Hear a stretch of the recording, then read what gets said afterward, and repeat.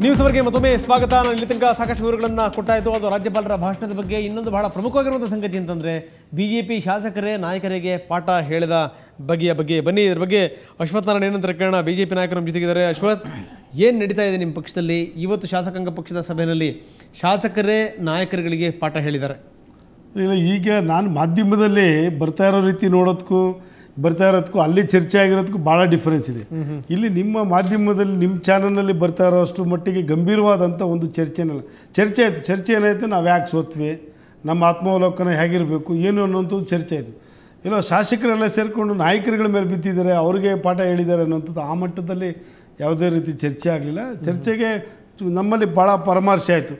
ವಿಶೇಷವಾಗಿ ಹಲವಾರು ಕ್ಯಾಬಿನೆಟ್ ಮಿನಿಸ್ಟರ್ಸ್ಗಳೇ ಸೋತಿದ್ದಾರೆ. ಇಂಥದ್ರೆಲ್ಲ ನಾವು ಮುಂದಿನ ಪಾರ್ಲಿಮೆಂಟ್ ಚುನಾವಣೆಗೆ ಇದೊಂದು ಎಚ್ಚರಿಕೆ, ಗಂಟೆ. ನಾವು ಎಲ್ಲಿ ತಪ್ಪಿದ್ದೀವಿ, ಎಲ್ಲಿ ವ್ಯತ್ಯಾಸ ಆಗಿದೆ ಅನ್ನೋಂಥದ್ದು ಮುಕ್ತವಾಗಿ ಚರ್ಚೆ ಮಾಡಿದರು. ಯಾರ ಮೇಲೂ ಸಹ ಇದಕ್ಕೆ ನೇರವಾಗಿ ಹೊಣೆ, ನಾಯಕರು ಹೊಣೆ ಅಥವಾ ಮತ್ತೊಬ್ಬರು ಹೊಣೆ ಅನ್ನೋ ರೀತಿಯಲ್ಲಿ ಚರ್ಚೆ ಆಗಲಿಲ್ಲ. ಅಲ್ಲಿ ಚರ್ಚೆ ಆಗಿರ್ತಕ್ಕಂಥ ಇಂಥದ್ರಲ್ಲಿ ನಾವು ಫೇಲ್ಯೂರ್ ಆಗಿದ್ವಿ.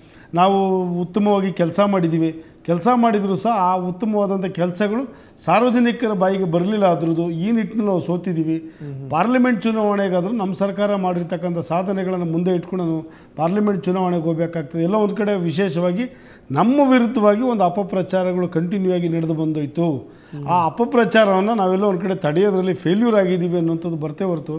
ನಾಯಕರುಗಳ ಮೇಲೆಲ್ಲ ಶಾಸಕರು ತಿರುಗಿಬಿದ್ರು ನಾನು ನೋಡಿದ್ದು ನಾನು ಮೀಟಿಂಗ್ ಮುಗಿಸ್ಕೊಂಡು ನಾನು ಬೇರೆ ಚಾನಲ್ ಡಿಸ್ಕಷನ್ಗೆ ಹೋದೆ. ಅಲ್ಲಿ ಬರ್ತಾ ಇರೋದಕ್ಕೂ ಅಲ್ಲಿ ಚರ್ಚೆ ಆಗಿರೋ ವಿಚಾರಕ್ಕೂ ಭಾಳ ನೂರು ಸೊ ಹಾಗಾದ್ರೆ ಹಾಗಾದ್ರೆ ಹೇಳೋ ಪ್ರಕಾರ ಅಪ್ಪಿ ತಪ್ಪಿ ವಿಚಾರ ಚರ್ಚೆ ಬಂದಿಲ್ಲ ಹಾಗಾದ್ರೆ? ಇಲ್ಲ ಅಷ್ಟು ಇಲ್ಲಿ ಜನರ ಜನರ ನಾಡಿ ಮಿಡಿತಗಳನ್ನು ಅರ್ಥ ಮಾಡ್ಕೊಂಡು ನೀವು ಸೇವೆ ಮಾಡಿ ಆದರೆ ಏನು ಗುಂಪುಗಾರಿಕೆ ಮಾಡಬೇಡಿ ಅಂತ ನಿಮ್ಮ ನಾಯಕರು ಹೇಳಿಲ್ವ ಹಾಗಾದ್ರೆ? ಇಲ್ಲ ಇಲ್ಲ ನಾಯಕರಲ್ಲಿ ಗುಂಪುಗಾರಿಕೆ ಅನ್ನೋದೊಂದು ಪ್ರಶ್ನೆ ಬರಲಿಲ್ಲ. ಇಲ್ಲಿ ಮುಂದೆ ಹಿಂದೆ ಇದಕ್ಕೆ ಕಾರಣ ಅಲ್ಲ ನನ್ನ ಪ್ರಶ್ನೆ ಗುಂಪುಗಾರಿಕೆ ಮಾಡ್ದನೆ ಜನರ ಸೇವೆ ಮಾಡಿ. ಅಂತ ಅಂತ ಒಂದು ಸಂದೇಶ ರವಾನೆ ಆಗಿಲ್ವಾ? ಅಲ್ಲೂ ಅಲ್ಲಿ ಬಂದಿದ್ದೇನಂತ ನಾಯಕರಿಂದ ಶಾಸಕರಿಗೆ ಅಲ್ಲ ಅಲ್ಲ ಪ್ರಾರಂಭಿಕ ಹಂತದಲ್ಲಿ ಕಳೆದ ಏನು ಅದು ನಾನು ಎಸ್ ಹೇಳಲಿಕ್ಕೆ ಇವರು ಬೇಜಾರು ಮಾಡ್ಕೊಳ್ತಾರೆ. ಯಡಿಯೂರಪ್ಪನವ್ರ ಅವಧಿನಲ್ಲಿ ಕೆಲವು ನಡೆದಂಥದ್ದು ಭಾಳ ಅಸಮಾಧಾನ ಆಗಿದೆ ಪಾರ್ಟಿಗೆ ಮತ್ತು ಸಾರ್ವಜನಿಕರ ಮಧ್ಯದಲ್ಲಿ.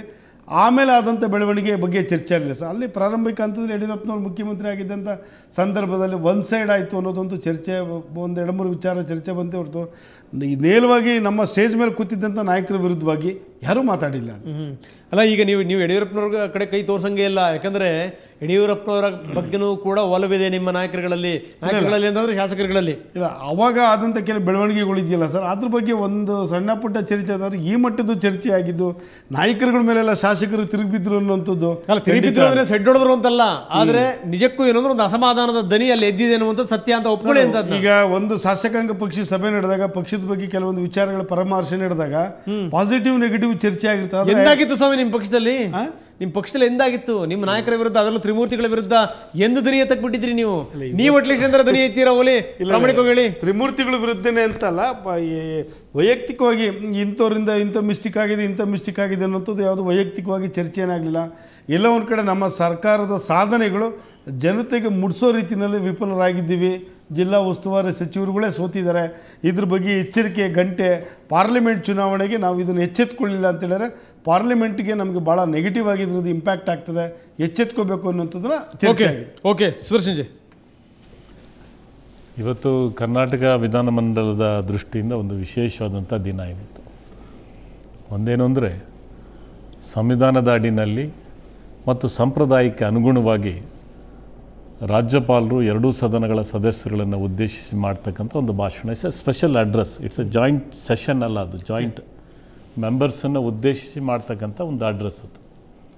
ಹಾಗಾಗಿ ಏನು ಸಂವಿಧಾನ ನೂರ ಎಪ್ಪತ್ತಾರು ನೂರ ಎಪ್ಪತ್ತಾರು ಆರ್ಟಿಕಲ್ ಅಡಿನಲ್ಲಿ ರಾಜ್ಯಪಾಲರು ಯಾವಾಗ ಚುನಾವಣೆ ಆಗುತ್ತೆ ಒಂದು ಹೊಸ ಅಸೆಂಬ್ಲಿ ಕೂಡಿದಂಥ ಸಂದರ್ಭದಲ್ಲಿ ಮೊದಲನೇ ಅದೇ ಅಧಿವೇಶನವನ್ನು ಅವರು ಉದ್ದೇಶಿಸಿ ಮಾತಾಡ್ತಕ್ಕಂಥದ್ದು. ಇದು ನಮ್ಮ ಪ್ರಜಾಪ್ರ ಪ್ರಭುತ್ವದ ವ್ಯವಸ್ಥೆಯಲ್ಲಿ ಸಂಸದೀಯ ವ್ಯವಸ್ಥೆಯಲ್ಲಿ ನಡ್ಕೊಂಡು ಬಂದಿರತಕ್ಕಂಥ ಒಂದು ಪದ್ಧತಿ ಇದು. ಈ ಅಡಿನಲ್ಲಿ ಕಳೆದ ವರ್ಷ ಏನೆಲ್ಲ ಘಟನೆಗಳು ನಡೆದು ಹೋಗಿದ್ದಾವೆ ಮತ್ತು ಮುಂದಿನ ವರ್ಷ ಒಂದು ಸರ್ಕಾರದ ಗುರಿ ಏನು ಮತ್ತು ಸರ್ಕಾರದ ಆದ್ಯತೆಗಳೇನು ಸರ್ಕಾರ ಯಾವ ಕಾರ್ಯಕ್ರಮಗಳನ್ನು ಹಾಕ್ಕೊಳ್ಬೇಕು ಅಂತ. ಇಲ್ಲಿ ಅಂಕಿಅಂಶಗಳನ್ನು ಗಮನ ಸಡ್ಡಸಲ್ಲಿ ಕೊಡ್ಲಿಕ್ಕೆ ಬರೋದಿಲ್ಲ. ಇದೆಲ್ಲವೂ ಕೂಡ ಬಜೆಟಲ್ಲಿ ರಿಫ್ಲೆಕ್ಟ್ ಆಗುತ್ತೆ. ಇಲ್ಲಿ ಕೇವಲ ಪಾಲಿಸಿ ಮ್ಯಾಟರ್ಸ್ ಏನಿದೆ ಗುರಿ ಏನಿದೆ ಆಮೇಲೆ ಇದು ಹಳೆಯ ಸರ್ಕಾರದ ಭ್ರಷ್ಟಾಚಾರದ ಪ್ರಸ್ತಾಪ ಬೇಕಿತ್ತ ಅಂತ? ಒಂದು ಹೇಳ್ತೀನಿ. ಇದು ರಾಜ್ಯಪಾಲರು ತಯಾರು ಮಾಡ್ತಕ್ಕಂಥ ಭಾಷಣ ಅಲ್ಲ. ರಾಜ್ಯಪಾಲರಿಗೆ ಆರ್ಟಿಕಲ್ ನೂರ ಅರವತ್ತ ಮೂರು ಅಡಿನಲ್ಲಿ ಅವರಿಗೆ ಏನು ಸಂಪುಟದ ಸಭೆಯಲ್ಲಿ ಮುಖ್ಯಮಂತ್ರಿಗಳು ಮತ್ತು ಸಚಿವರುಗಳು ಅಲ್ಲಿ ಚರ್ಚೆ ಮಾಡಿ ಅಲ್ಲಿ ಉದ್ದೇಶ ಏನು ಅಂತ ಹೇಳಿದ್ರೆ ಅಸಿಸ್ಟ್ ಮಾಡ್ಲಿಕ್ಕೋಸ್ಕರನೇ ಕೌನ್ಸಿಲ್ ಆಫ್ ಮಿನಿಸ್ಟರ್ಸ್ ಇರ್ತಕ್ಕಂಥದ್ದು. ಎಸ್ ಹಂಗಾದ್ರೆ ಸರ್ಕಾರದ ಪರವಾಗಿ ಒಂದು- ನಿಮಿಷ. ಬೇಕು ಅಂತಲೇ ಈ ಪಾಯಿಂಟ್ ಸೇರಿಸಿ ಅಲ್ಲ, ಹಾಗಾದ್ರೆ. ಒ- ಒಂದ್ ನಿಮಿಷ. ಸರ್ಕಾರದ ಪರವಾಗಿ ರಾಜ್ಯಪಾಲರು ಭಾಷಣವನ್ನು ಓದ್ತಾರೆ. ಬೇಕು ಅಂತಕ್ಕಂಥ ಪ್ರಶ್ನೆ ಅಲ್ಲ. ಈಗ ಜನರು ಬದಲಾವಣೆಯನ್ನು ಕರ್ನಾಟಕದಲ್ಲಿ ತಂದಿದ್ದಾರೆ. ಯಾತಕ್ಕೋಸ್ಕರ ತಂದಿದ್ದಾರೆ? They voted for change Karnataka voters they voted for change ಇದನ್ನ ಬೇಸಿಕ್ ಆಗಿ ಅರ್ಥ ಮಾಡ್ಕೊಳ್ಬೇಕು. ಯಾವ ಕಾರಣಕ್ಕೋಸ್ಕರ ಜನರು ಬದಲಾವಣೆಯನ್ನು ಬಯಸಿದ್ದಾರೆ? ಕಳೆದ ನಾಲ್ಕು ವರ್ಷಗಳಲ್ಲಿ ಅಥವಾ ಕಳೆದ ಐದು ವರ್ಷಗಳಲ್ಲಿ ಕರ್ನಾಟಕದಲ್ಲಿ ಏನೆಲ್ಲ ಅಧ್ವಾನಗಳಾಯಿತು, ಹಾಗಿದ್ರೆ ಭ್ರಷ್ಟಾಚಾರದ ಹಗರಣಗಳು ನಡೀಲೇ ಇಲ್ವಾ? ಸೊ ಇಲ್ಲಿ ಯಾವುದಾದ್ರೂ ಒಂದು ಒಂದು ಪಕ್ಷದ ಹೆಸರನ್ನು ಹೇಳಿಲ್ಲ. ಕಳೆದ ಆರು ವರ್ಷಗಳಲ್ಲಿ ಅಥವಾ ಐದು ವರ್ಷಗಳಲ್ಲಿ ಕರ್ನಾಟಕದಲ್ಲಿ ಯಾವ ಸ್ಥಿತಿಗಳು ಐದು ವರ್ಷಗಳಲ್ಲಿ ಆರು ವರ್ಷಗಳಲ್ಲಿ ಅಂತಂದ್ರೆ ಅದು ಯಾರಿಗೆ ಹೋಗುತ್ತೆ? ಯಾರಾದ್ರೂ ಇರ್ಬೋದು. ಅಲ್ಲ ಪಕ್ಷ ಯಾರೇ ಇದ್ರೂ ಹೋಗುತ್ತೆ ಹೇಳಬೇಕಾಗುತ್ತೆ ಕರ್ನಾಟಕದ ಜನರು ಒಂದು ಬದಲಾವಣೆ ಪರವಾಗಿ ತಂದಿದ್ದಾರೆ ಅಂತ ಹೇಳಿದ್ರೆ ಯಾವೆಲ್ಲ ಕಳೆದು ಹೋಗಿದ್ದಾವಲ್ಲ? ಕರ್ನಾಟಕದ ಘನತೆ ಕರ್ನಾಟಕದ ಮಹತ್ವ ಹಾಳಾಗಿದೆಯಲ್ಲ? ಅದನ್ನ ಅದನ್ನ ತರಬೇಕಾಗಿರ್ತಕ್ಕಂಥ ಜವಾಬ್ದಾರಿ. ಅದನ್ನ ಮರಳಿ ತರ ಅದನ್ನ ಮರಳಿ ತರಬೇಕಾದಂತ ಜವಾಬ್ದಾರಿ ಕರ್ನಾಟಕ ಸರ್ಕಾರದ ಮೇಲೆ ಇದೆ ಅಂತಕ್ಕಂಥ ಅಭಿಪ್ರಾಯಗಳನ್ನು ಅವರು ಹೇಳಿದ್ದಾರೆ. ಎಸ್ ಅದನ್ನ ಸೂಚ್ಯವಾಗಿ ಸೂಕ್ಷ್ಮವಾಗಿ ಹೇಳ್ಬೋದಾಗಿತ್ತು. ಹಿಂದಿನ ಆಡಳಿತದ ತಪ್ಪುಗಳು ಮರುಕಳಿಸಿದಾರೆ ನಡ್ಕೊಳ್ಳಿ ನೀವು ಅಂತ ಹೇಳಿ ಅಂತ ನೇರವಾಗಿ ಒಂದು ವಾಗ್ದಾಳಿ ಮಾಡುವಂತ ಸರಿನಾ ಅಂತ? ವಾಗ್ದಾಳಿ ಅಲ್ಲ ಅದು. ಕರ್ನಾಟಕದಲ್ಲಿ ಏನ್ ಸಂದರ್ಭ ಇತ್ತು ಅದನ್ನ ಜನರ ಮುಂದೆ ಹೇಳಿದ್ದಾರೆ. ಜನ್ ಜನರ ಮುಂದೆ ಸದನದ ಮುಖಾಂತರ ಹೇಳಿದ್ದಾರೆ ಅಷ್ಟೇ ಅದು. ನಾನು ನಾನು ಪಟೇಲ್ ಕೇಳ್ತೀನಿ. ಪಟೇಲ್ ಹಿಂದೂ ಕೂಡ ಬೇರೆ ಬೇರೆ ರಾಜ್ಯಪಾಲರು ಭಾಷಣ ಮಾಡಿದಂಥ ಸಂದರ್ಭದಲ್ಲಿ ಹಿಂದಿನ ಭ್ರಷ್ಟಾಚಾರದ ವಿಚಾರಗಳನ್ನು ಎತ್ತಿ ಪ್ರಸ್ತಾಪ ಮಾಡಿದ್ದೇನಾದ್ರೂ ಇದೆಯಾ? ನೋಡಿ ಒಂದು ಸಂಸದೀಯ ವ್ಯವಸ್ಥೆಯಲ್ಲಿ ಒಂದು ಪರಂಪರೆ ಇದೆ. ಸುದರ್ಶನ್ ಹೇಳಿದಾಗನೇ ಹೊಸ ಸರ್ಕಾರ ಬಂದಾಗ ಆ ಸರ್ಕಾರದ ದಿಕ್ಕು ದೆಸೆ ಮತ್ತು ಅವ್ರು ಮಾಡ್ತಕ್ಕಂಥ ಕಾರ್ಯಕ್ರಮಗಳ ಬಗ್ಗೆ ರಾಜ್ಯಪಾಲರ ಮುಖಾಂತರ ಜನತೆಗೆ ಹೇಳುವಂಥ ಒಂದು ಪದ್ಧತಿ ಪರಂಪರೆ ನಡ್ಕೊಂಡು ಬಂದಿದೆ. ಆದರೆ ನನ್ನ ಆತಂಕ ಏನಂತಂದರೆ ರಾಜ್ಯಪಾಲರು, ಘನವೆತ್ತ ರಾಜ್ಯಪಾಲರು, ಅವರು ಸಂವಿಧಾನ ಮುಖ್ಯಸ್ಥರು. ಅವರಿಗೆ ಯಾವುದು ಪಕ್ಷ, ಭೇದ, ಭಾವ ಯಾವುದೂ ಇಲ್ಲ. ಸಂವಿಧಾನವನ್ನು ಕಾಪಾಡೋದಕ್ಕೆ ರಾಜ್ಯದಲ್ಲಿ ಒಂದು ಕಾನ್ಸ್ಟಿಟ್ಯೂಷನಲ್ ಹೆಡ್ ಆಗಿ ಅವರು ಬಂದು ಕೂತಿರ್ತಾರೆ. ಅವ್ರ ಬಾಯಿಂದ ರಾಜಕಾರಣ ಮಾತಾಡಿಸಬಾರ್ದು ಯಾವುದೇ ಸರ್ಕಾರಗಳಲ್ಲಿ. ಈಗ ಭ್ರಷ್ಟಾಚಾರ ವಿಷಯ. ಸುದರ್ಶನ್ ಹೇಳಿದಾಗನೇ ಹಿಂದಿನ ಸರ್ಕಾರ ತಪ್ಪು ಮಾಡಿದೆ ಅನ್ನೋ ಕಾರಣಕ್ಕಾಗಿ ಹೊಸ ಜನಾದೇಶ ಕಾಂಗ್ರೆಸ್ ಸರ್ಕಾರಕ್ಕೆ ಕೊಟ್ಟಿದ್ದಾರೆ ಜನ ಅದನ್ನು ಒಪ್ಪಲೇಬೇಕು. ಆದರೆ ಅವ್ರ ಬಾಯಿಂದ ರಾಜಕಾರಣ ಮಾತಾಡಿಸ್ಬಾರ್ದು. ಆ ಸ್ಥಾನದವನ್ನು ದುರುಪಯೋಗ ಪಡಿಸ್ಕೊಳ್ಳುವಂಥ ಒಂದು ಕೆಟ್ಟ ಪದ್ಧತಿ ಇವತ್ತು ಪ್ರಾರಂಭವಾಗಿದೆ. ರಾಜಕಾರಣ ಇದು ಈಗ ಭ್ರಷ್ಟಾಚಾರ ಭ್ರಷ್ಟಾಚಾರದ ವಿಷಯದಲ್ಲಿ ಕಾನೂನಿದೆ ಈ ದೇಶದ ಕಾನೂನಿದೆ ಅದಕ್ಕೆ ಕೋರ್ಟ್ ಇದೆ ಅಲ್ಲಿ ಪ್ರಕರಣಗಳು ನಡೆದಿದ್ದಾವೆ.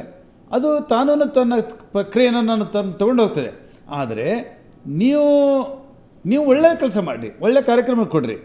ಆದರೆ ಇವತ್ತು ರಾಜಕಾರಣವನ್ನು ಅವ್ರ ಬಾಯಿಂದ ಮಾತಾಡಿಸೋದು ಇದು ರಾಜ್ಯಪಾಲರಿಗೆ ಮಾಡ್ತಕ್ಕಂಥ ಒಂದು ಅಪಚಾರ ಇದು. ರಾಜ್ಯಪಾಲರ ಸ್ಥಾನಕ್ಕೆ ಮಾಡ್ತಕ್ಕಂಥ ಅಪಚಾರ ಇದು. ಜೊತೆಗೆ ಫೆಬ್ರವರಿ ಎಂಟನೇ ತಾರೀಕು ನನ್ನ ಸರ್ಕಾರ ಅಂತ ಹೇಳಿ ಉತ್ತಮವಾದ ಘೋಷಣೆಗಳು ಯೋಜನೆಗಳು ಮಾಡಿದೆ ಅಂತ ಹೇಳಿ ಹೇಳಿ ಇದೇ ಫ ಟೂ ತೌಸಂಡ್ ತರ್ಟೀನ್ ಫೆಬ್ರವರಿ ಎಂಟನೇ ತಾರೀಕು ಇದೇ ಬಿ ಜೆ ಪಿ ಸರ್ಕಾರನ ಹೊಗಳಿ ಹಾಡಿ ಹೇಳಿದಂಥ ಗವರ್ನರು ಮೂರು ತಿಂಗಳಿಗೇನೆ ಭ್ರಷ್ಟಾಚಾರ ಅನ್ನತಕ್ಕಂಥದ್ದು ಇದು ಎಷ್ಟು ಮಟ್ಟಿಗೆ ಎಸ್ ಸರಿ ಇದು? ಎಸ್ ಸೊ ಈಗ ಸಂಬಂಧಪಟ್ಟ ಇನ್ನಷ್ಟು ಮಾತಾಡ್ತೀನಿ. ಹಾಗಾದರೆ ಸುದರ್ಶನ್ ಒಂದು ಒಳ್ಳೆ ಪಾಯಿಂಟ್ ಅನ್ನು ಹೇಳಿದರು. ಅವರಿಗೆ ಭಾಷಣವನ್ನು ಸಿದ್ಧಪಡಿಸ್ಕೊಡ್ಲಿಕ್ಕೇ ಸಂಪುಟದಲ್ಲಿ ಕೆಲ ಸದಸ್ಯರುಗಳಿರ್ತಾರೆ ಅಂತ.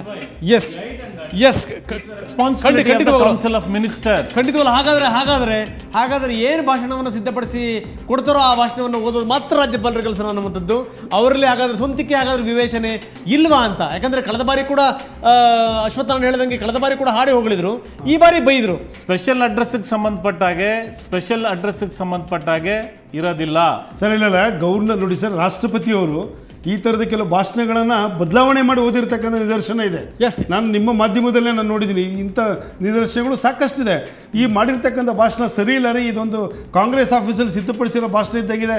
ಬದಲಾವಣೆ ಮಾಡಿ ಅಂತ ಗೌರ್ನರ್ ಹೇಳ್ಬೋದಾಗಿತ್ತು. ಯಾಕೆ ಇದೇ ಇದೇ ಗವರ್ನರು ಸಭೆಯನ್ನು ಬಹಿಷ್ಕರಿಸಿ ಹೋಗಿದ್ದಿಲ್ಲ ಸರ್ ಕಳೆದ ಬಾರಿ? ಗೊತ್ತಿರೋದು ಸಂಗತಿ ತಮಗೆ. ಸುದರ್ಶನ್ ಜಿ ಸೊ ಇಂಥ ಸಂದರ್ಭದಲ್ಲಿ ಏನಾದರೂ ಮಾರ್ಪಾಡು ಮಾಡ್ಕೊಂಡು ಓದಬಾರ್ದು? ಆ ಥರ ಏನಾದರೂ ಇದೆಯಾ? ಇಲ್ಲ ಮಾಡೋದಕ್ಕೆ ಅವ್ರಿಗೆ ಪ್ರೊವಿಷನ್ ಇದೆ ರೂಲ್ ಇದೆ. ಒಂದು ಒಂದು ಇಲ್ಲಿ ರಾಜಕಾರಣನೂ ಇಲ್ಲ ಅನ್ಪಾರ್ಲಿಮೆಂಟ್ರಿನೂ ಇಲ್ಲ ಇಲ್ಲಿ. ಏನ ಏನಿದೆ ರಾಜಕಾರಣ? ಕಳ ಕಳೆದ ಐದು ವರ್ಷಗಳಲ್ಲಿ ಭ್ರಷ್ಟಾಚಾರದ ಹಗರಣಗಳು ನಡೀಲಿಲ್ವಾ? ಜೈಲಿಗೆ ಹೋಗಿ ಬರಲಿಲ್ವಾ? ಲೋಕಾಯುಕ್ತ ಮುಂದೆ ಕೇಸ್ಗಳನ್ನ ಕಟ್ಟಲೆಗಳಲ್ಲಿ ಕಟ್ಲೆಗಳಲ್ಲಿ ಹಾಜರಾಗ್ಲಿಲ್ವಾ? ಹಾಗಾದ್ರೆ ಇವತ್ತು ಏನು ರಾಷ್ಟ್ರಪತಿಗಳಿದ್ದಾರೆ? ಹಾ. ಹಿಂದೆ ಕಾಂಗ್ರೆಸ್ ಸರ್ಕಾರದಲ್ಲಿ ಈಗಿನ ಕಾಂಗ್ರೆಸ್ ಸರ್ಕಾರದಲ್ಲಿ ಅನೇಕ ಲಕ್ಷಾಂತರ ಕೋಟಿ ಹಗರಣಗಳು ನಡೆದಿದ್ದಾವೆ. ನಾಳೆ? ಹೊಸ ಸರ್ಕಾರ ಬಂದಾಗ ಇದನ್ನು ಅವ್ರ ಬಾಯಿಂದ ಹೇಳಿಸೋದಾದ್ರೆ ಈ ಪರಂಪರೆಗೆ ಭಾಳ ಕೆಟ್ಟ ದಾರಿಯನ್ನು ಹಿಡಿಸ್ತೇವೆ. ಎಸ್ ಇದು ಇದು ಸರಿಯಾದಂತಹ ಕ್ರಮ ಅಲ್ಲ ಇದು. ಓಕೆ ಓಕೆ ಫೈನ್ ಫೈನ್ ರಾಜ್ಯಪಾಲರ ಭಾಷಣ ಆಯಿತು. ಇನ್ನು ಬಿಜೆಪಿಯ ಒಳಗೆ ಏನು ನಡೀತಾ ಇದೆ ಶಿಸ್ತಿನ ಪಕ್ಷದಲ್ಲಿ ಇದ್ರ ಬಗ್ಗೆ ಮುಂದಿನ ಹಂತದಲ್ಲಿ ಚರ್ಚೆ ಮಾಡ್ತೀವಿ. ಆದರೆ ಅದಕ್ಕಿಂತ ಮೊದಲು ಪುಟ್ಟ ವಿರಾಮ